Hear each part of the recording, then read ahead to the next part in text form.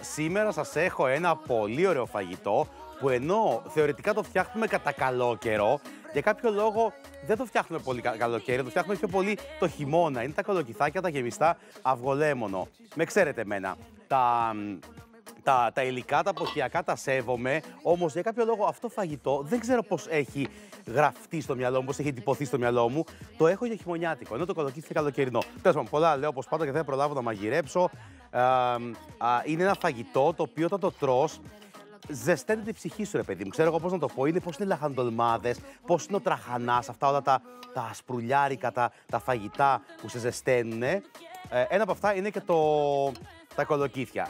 Πέραν της ε, της πλάκας τώρα, κολοκύθια υπάρχουν όλο το χρόνο στο σούπερ μάρκετ στις μέρες μας. Δεν ζούμε α, 100 χρόνια πριν που περιμέναν οι άνθρωποι να πάει Ιούλιος να βγουν τα κολοκύθια. Οπότε μπορείτε να το φτιάξετε. Με μια πολύ μικρή προστίκη του καρότου, που είναι δική μου έτσι, έμπνευση, θεωρώ ότι ε, το φαγητό αυτό το κάνεις λίγο πιο χειμωνιάτικο. Και να σας πω ακόμα και κάτι, και κάτι ακόμα. Εάν θέλετε, αντί για άνηθο που έχω βάλει στη συνταγή, που είναι το μυρωδικό της της κλασικής συνταγής, μπορείτε να βάλετε σέλινο. Τότε ουσιαστικά ξέρετε τι κάνετε; Φτιάχνετε γιουβαρλάκια μέσα σε κολοκύθι. Αλλά μην σας μπερδεύω καλύτερα. Γιατί αυτά που λέω καμιά φορά έτσι αστειευόμενος σας μπερδεύουν. Όχι, δεν κάνουμε γιουβαρλάκια. Σήμερα κάνουμε κολοκυθάκια γεμιστά αυγολέμονο. Απλώς εγώ έβαλα μέσα λίγο καρότο. Εντάξει. Να και το ζουμάκι από πάνω. Γιατί είναι πολύ ωραίο το σερβίρισμα του φαγητού αυτό. Αυτό το, το ζουμάκι, το αυγολέμονο που πέφτει από πάνω, τα γυαλίζει ωραία. Εγώ στο σπίτι μου τα σερβίρω σε βαθιά πιάτα. OK. Okay. Ωραία και βάζω από πάνω πάντα φέτα. Νομίζω το φαγητό αυτό τρώγεται με φέτα και, και ένα ωραίο κομμάτι φρέσκο ψωμί. Μέχρι να βάλω εγώ τη φέτα στα ωραία μου τα πιάτα, να δούμε σας παρακαλώ πάρα πολύ την κάρτα με τα υλικά για τα κολοκυθάκια γεμιστά αυγολέμονο με ένα μικρό χειμωνιάτικο twist, μια μικρή χειμωνιάτικη παραλλαγή, το καρότο που τα γλυκαίνει πολύ. Εντάξει; Ωραία. Η κάρτα μου λοιπόν, όσο τώρα εγώ βάζω άνηθο από πάνω, έχει 8 με 10 κολοκύθια για γέμισμα. Το νούμερο, ξέρετε, ε, ζορίστηκα πολύ να σας, ε, να σας γράψω το, το, το, το, νούμερο των κολοκυθιών, το, την ποσότητα μάλλον, με συγχωρείτε, γιατί είναι σχετικό το τι κολοκύθια θα γεμίσει ο καθένας. Εγώ πήρα μεγάλα, αυτά που γεμίζουν ε, ε, εύκολα. Αν θέλετε να γεμίσετε μικρά, θα παιδευτείτε λίγο παραπάνω έτσι για να τα αδειάσετε. Αλλά τι να πω, ξέρω εγώ, ό,τι κολοκύθια θέλετε πάρτε εσείς. Πάντως για Τέσσερα άτομα, σίγουρα θα χρειαστούμε 8 κολοκύθια. Εντάξει.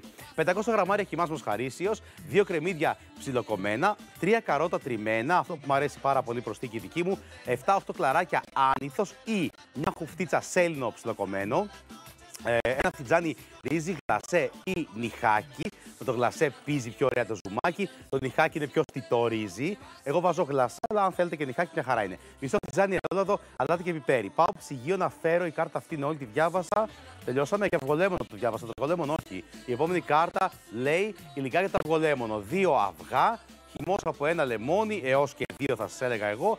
Και πάντα εγώ βάζω στο αυγολέμονό μου λίγο cornflour, από μισό ως ένα κουταλάκι.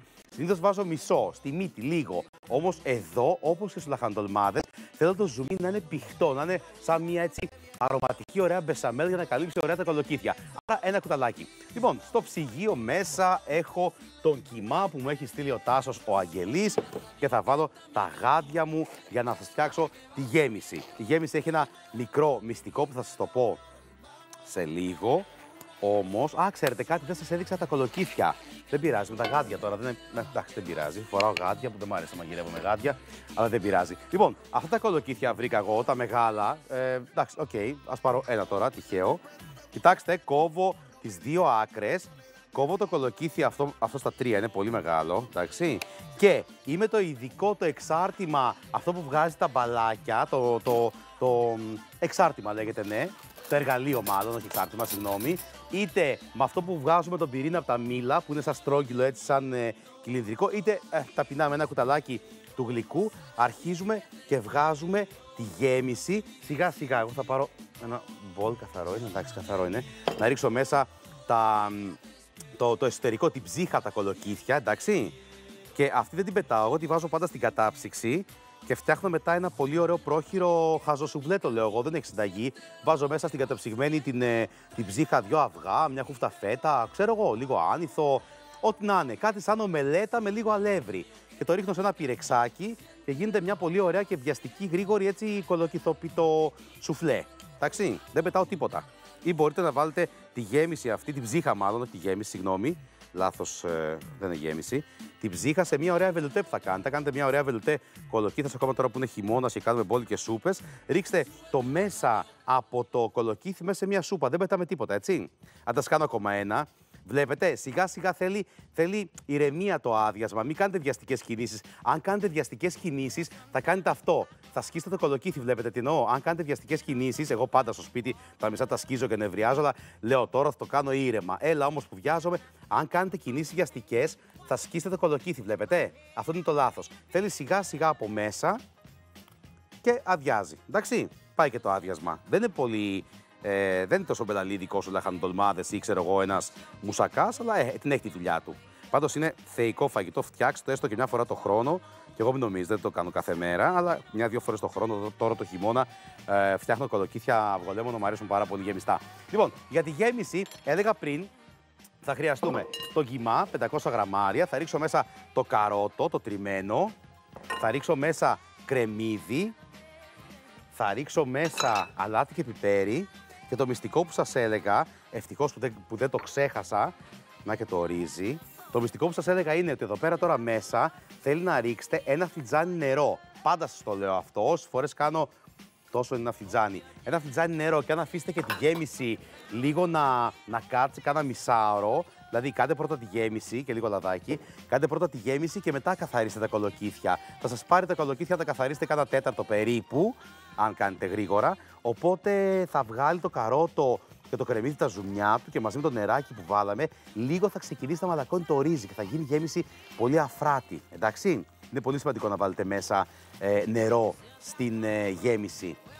Αν δεν βάλετε, συνήθως το, το μέσα γίνεται πολύ σκληρό και όταν κόβεις το κολοκύθι, ε, ψήνει τη γέμιση ολόκληρη και γίνεται σαν μακρόστιμο και φτεδάκι μέσα. Δεν είναι ωραίο αυτό. Πρέπει να κόβεις το πυρούνι σου το κολοκυθάκι, να κόβετε ευχάριστα και πολύ μαλακά ε, όλο το, το κολοκύθι. Όχι να, να είναι αλλού η γέμιση και άλλο το κολοκύθι. Για μένα τότε είναι αποτυχημένο το φαγητό.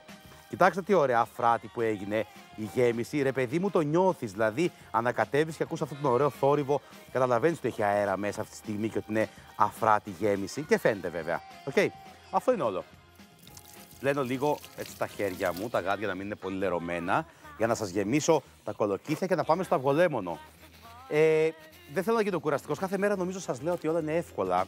Μια φορά λέω, μην το λες συνέχεια αυτό το πράγμα. Εντάξει, δεν το λέω κάθε μέρα, μέρα παραμέρα. Αλλά ρε παιδί μου, δεν βρίσκω δυσκολία σε πολλά φαγητά.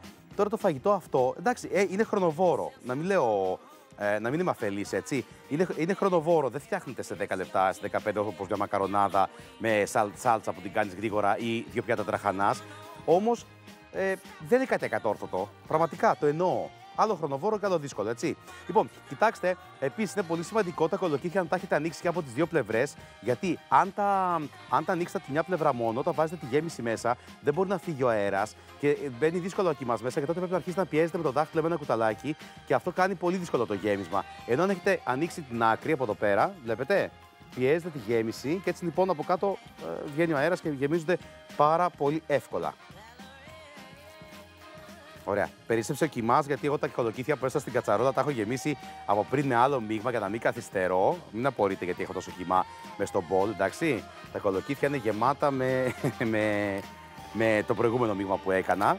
Και επίσης η κατσαρόλα αυτή είναι λίγο μικρή. Κανονικά η δόση είναι και άλλα δύο κολοκύθια, αλλά τώρα δεν πειράζει. Όμως τα έτοιμα που σας έχω, αυτό που παρουσίασα και αυτό που θα βγοκόψω, είναι η ποσότητα η αληθινή. Εντάξει, ωραία. Εδώ πέρα μέσα ρίχνω μπόλικο λάδι, το θέλει το λάδι το φαγητό του, σίγουρα μισοφιτζάνι. Θα ρίξω μέσα νερό. Επίση το δεσκεμπόλικο το νερό, ενώ συνήθως σας λέω μην βάλετε πολλά νερά στα φαγητά σας. Εδώ το θέλει το νεράκι του.